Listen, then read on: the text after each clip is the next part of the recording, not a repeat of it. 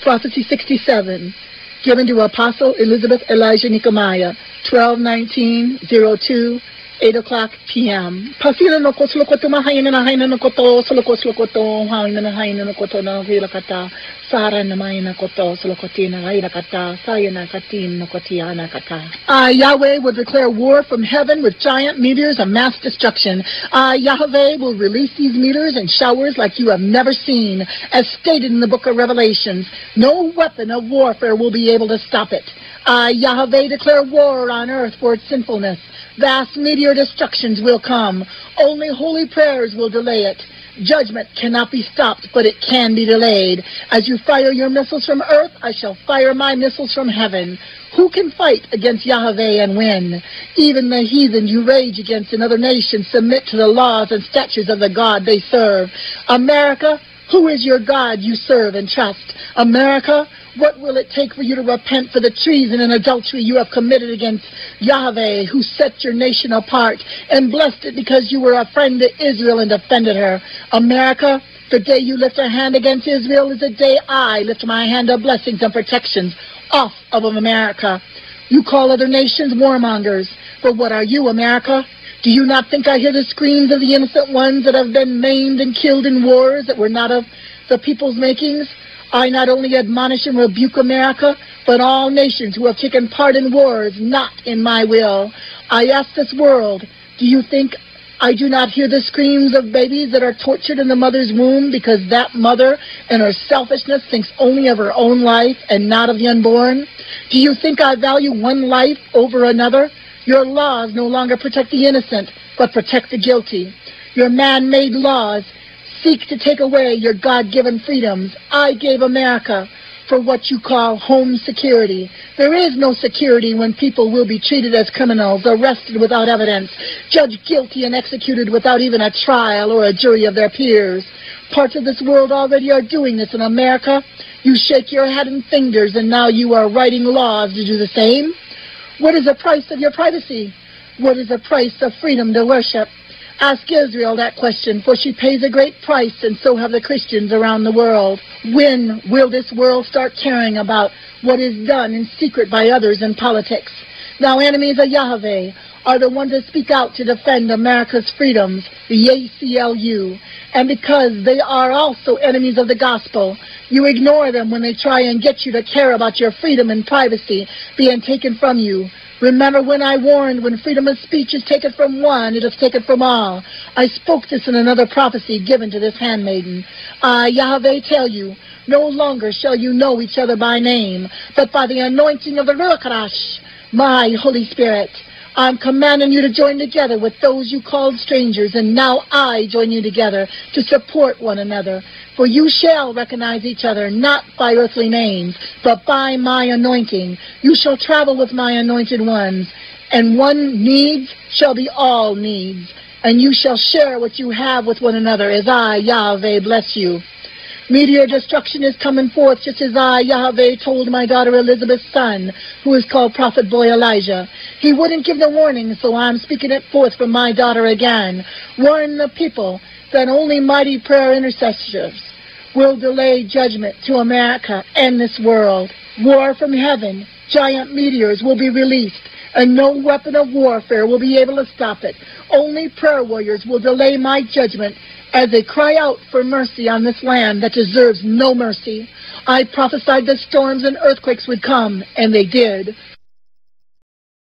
What do I have to do before people will realize I am warning the apostles and prophets to tell the people to repent before I send judgment? My troops anointed by heaven will not be concerned with one another's name, for they will recognize the Holy Spirit within my children. They will not recognize a name, nor even know their past, but they will recognize one another by the anointing of my Holy Spirit. You shall gather together in my name and walk in holiness and truth to my statutes and walk side by side, traveling together for one purpose, and that is to warn people my judgment is soon to fall. The year 2003, my anointed hidden ones will come out of hiding and join together with my daughters speaking this, and together they shall pray for delay of my judgment. And if enough people repent, I shall stay my hand of judgment another time. You nations that develop weapons, fine-tuning them so you can shoot down one another's missiles, ask yourself this. How can you defend yourself against a war from heaven as I threw upon earth, including America, meteors that will crush your homes, businesses, capitals? And I tell you, enough of your foolishness. I, Yahweh, will show you a war of unmagnitude proportions. If you don't repent, turn away from your wicked ways, live holy and be holy, and call upon my name in the name of my son Yeshua. You can pass all the ungodly laws you want, but I, Yahweh, uh, am the only lawgiver, and there are stiff consequences for those who call themselves lawmakers and are really lawbreakers. I, Yahweh, am not amused neither shall you be when I, Yahweh, and my son Yeshua are through with you. For those that dare to mock the messages I, Yahweh, send forth, such as this one, put your hands up and defend yourself against the everlasting Creator, the one called the Ancient of Days. For I have no beginning and no end. I am the Aleph and the Tav. You who call yourself Christians and yet follow not the ways of my son Yeshua in observing even the holy times. You who call yourself Christian who boast and say, I'm not a Jew, and yet I said, you are grafted in when you follow Yeshua and accept him as Messiah, loving and putting Yahweh and Yeshua first in your lives, striving to obey my laws, knowing you will have an intercessor, a Savior in my Son Yeshua, when you do sin, but not purposely grieving the Holy Spirit and sinning and endangering your very soul. How few of you remember that you must all work out your own salvation with fear and trembling. The majority of you who call yourself Christians, for the most part, are anti-Semitic. You shun the Hebrew ways, the Torah, the Tanakh, and only want to claim the New Testament. You only want to gather together on a man-made Sabbath, not on a true Shabbat. How many Christians only want to celebrate man-made pagan holidays and shun the true Hebrew holy days? How many of you only want to use what you call church to pacify me or as a fashion show or a gossip fest? You Christians don't realize that Pentecost is not found in most of your churches because you have grieved my Holy Spirit and chased the rock Ruach HaKodesh out. You read of the 12 disciples and quote the Jewish scriptures and claim the Bible as your promises. Yet you cut yourself off from all that is Hebrew and brag you are not a Jew. You dare to boast how I, Yahweh, cut off the natural vine to graft you Gentiles in, so the natural vine would become jealous. And yet then you reject the natural vine and reject the things I, Yahweh, taught them. You who call yourself Christian allow Rome to supposedly Change the only day I set apart, blessed and sanctified. And you say any day will do to call Sabbath. I didn't choose any day. I rested on the seventh day. Why do you not study and show yourself approved? You know the truth, and yet still have not held your pastors accountable for changing the fellowship day back to the true Shabbat day. If you had told the pastors you tell us the Bible is truth, and yet you don't follow the truth. And I won't be following or be part of a fellowship that doesn't walk in the truth. Instead, you whisper the truth and don't follow through. No pastor has thus far contacted this daughter I'm speaking this message for from and thanked her nor encouraged her for rebuking them in Yahshua's name. My children who have taken the prophetic messages of rebuke to the pastors are rejected or patted on the head and told thanks but we will continue on the same way. And my children disobey and still sit in these churches that refuse to speak forth the truth and do things Yahweh's way and not man or woman's way. Why are not the churches speaking forth holiness and repentance? Why are they not warning narrow is a path to heaven and broad is a path to hell? Ask yourself, does a prosperity message bring souls to heaven? Ask yourself, why the top ministries of this world refuse to speak forth any message that could offend others. I, Yahweh, am true, and I am truth. And when my son Yeshua speaks forth truth to the Pharisees, it offended. When my disciples speak forth truth, it offends the Pharisees, those with a form of godliness and no godliness within. Ask yourself, Why the pastors are not encouraging the people to pray against ungodly laws becoming a reality. Ask yourself why so many pastors are leading the sheep into the wolves' den. Christians, you will once again be handed over to the Roman Empire. You who call yourself Christians, I shall judge you, for you have followed Constantine's laws, and not Yahweh and Yahshua. Christians, you have celebrated pagan holidays, not Yahweh's holy days.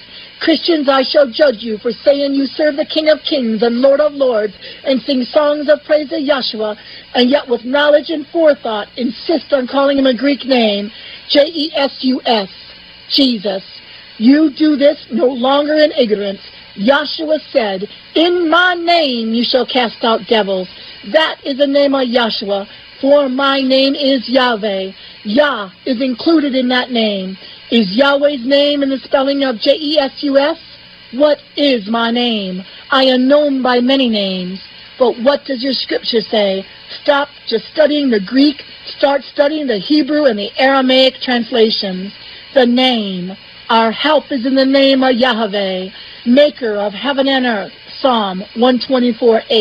You who call yourself Christians, I, Yahweh, charge you this. You who preach God Yahweh and Yeshua is love, and yet do not show it nor live it. You serve the King of Jews, and yet you shun my Jewish people. You mock and slander and allow others to do this. You secretly follow the truth in this ministry, and yet do nothing to support it. You do nothing to defend this ministry, and you recognize the voice of your heavenly Father speaking forth, and yet stay silent as this apostolic handmaiden gets mocked and slandered, all because I use this ministry to teach the Jewishness of Yeshua, whom you call Jesus Christ. You are the only religion that maims, beats, and tries to kill, or do kill those of your own religion. You won't find this in any other religion. This is the judgment I decree and speak forth out of my apostle Elizabeth Elijah Nehemiah. Don't get angry with her, for she is only the messenger. Multitudes call themselves Christians and have a form of godliness, and yet are Gentile Pharisees. You who know the truth and refuse the truth, you call yourself Christians, and because you have rejected my Jewish people and the laws and the true holy days and feasts, you have been like a Judas again to Yeshua because you dare to think you are better than the Jewish people and boast how you were grafted in and they were cut off for a season. You boast how the Jews are so stupid not to see Yeshua, whom you call Jesus as Messiah. Instead of praying for them, loving them, realizing it is I, Yahweh, that blinded their eyes for a season, you are under the curse to dare boast how I cut off the natural vine and grafted you into it by the blood of Yeshua. What does my word say when you boast and mock the natural vine? The unbelieving Jewish people who have not had the revelation yet that Yeshua is the Messiah. In Greek called Jesus. Does my word not say, if I did not spare the natural vine, why do you think I will spare you who boast they are better than the natural vine? You who insist on following Constantine, listen to me. The first attempt fatally successful was made by Ha-Satan in the form of the serpent in the Garden of Eden.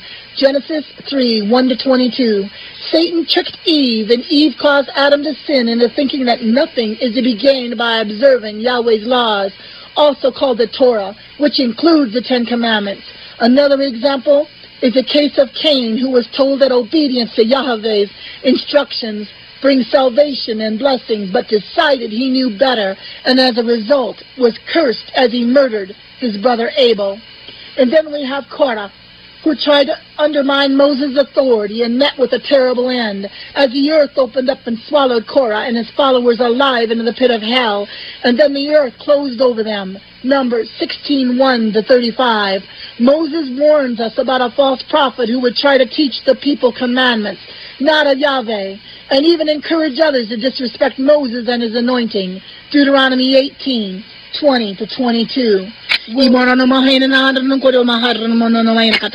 Woe be unto you for all those that do not have spiritual ears to hear and spiritual eyes to see, that the Christian churches as well as the temples are full of Korahs today and will suffer the same fate. Numbers 16, 1 to 35.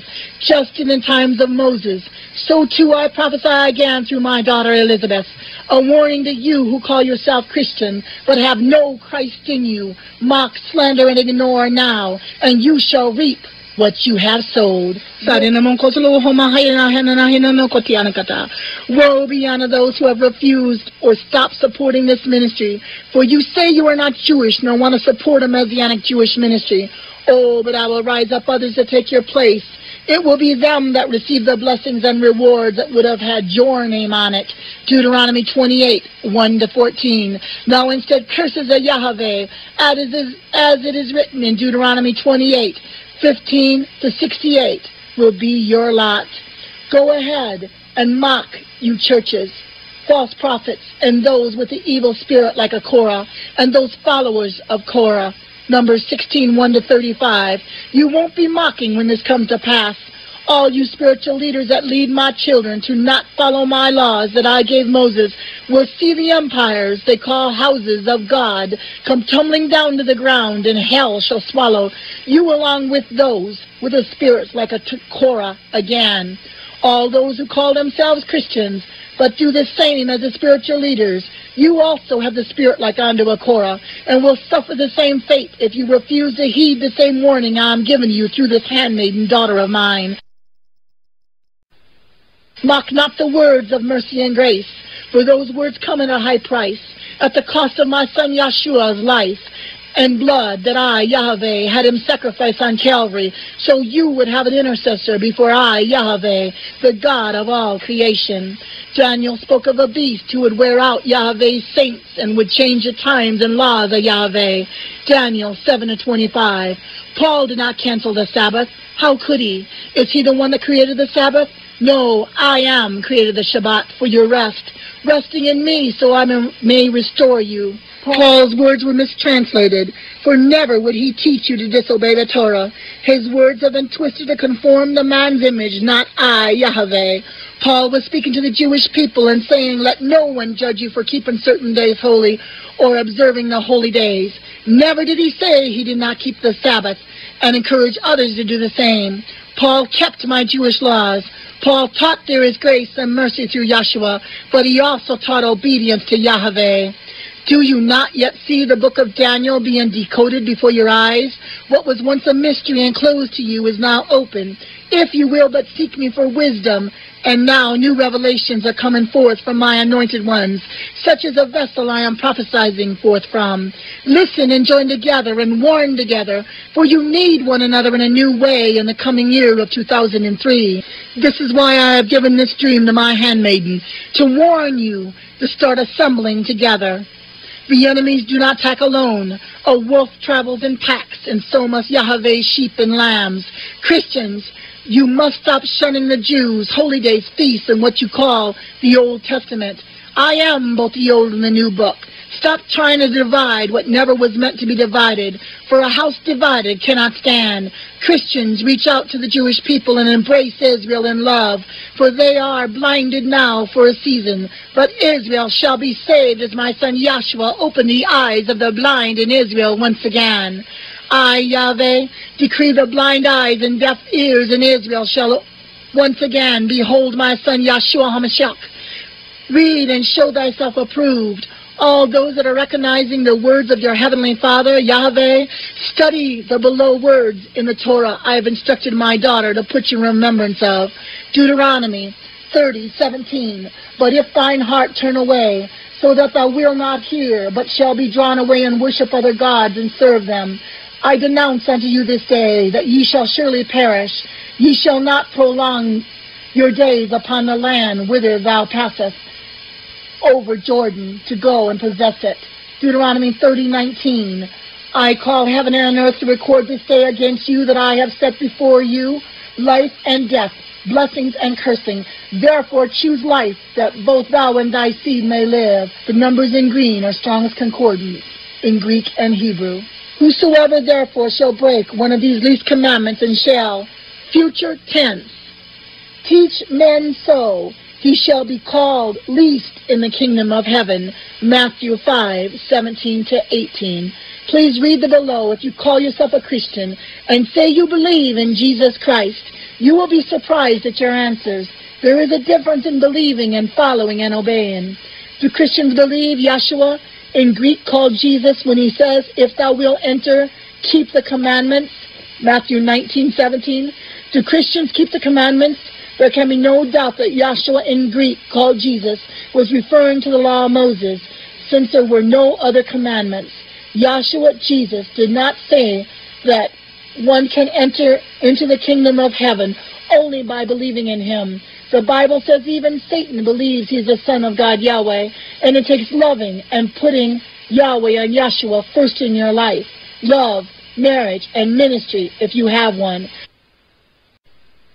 Yahshua also said, Why do you call me Lord and not obey me? One must keep the Ten Commandments.